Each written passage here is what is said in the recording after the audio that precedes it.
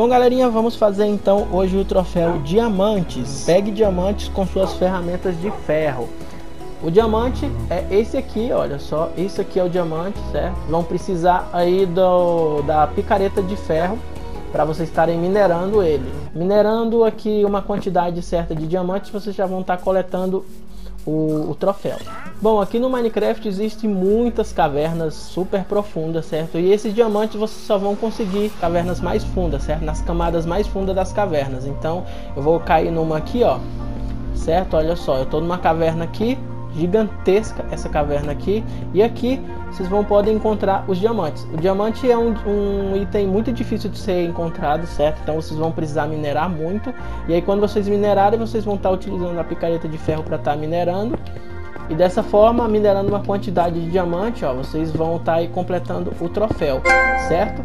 É, vocês vão encontrar dois tipos de blocos de diamantes. Esse aqui que é o bloco mais fácil de ser encontrado, e tem esse aqui também que já é um pouco mais difícil de ser encontrado, certo? Ó, mas eles vão aí é, dropar os mesmos, os mesmos diamantes, é tudo a mesma coisa, certo? Se eu te ajudei, deixa um like aí, se inscreva no canal, até o próximo vídeo.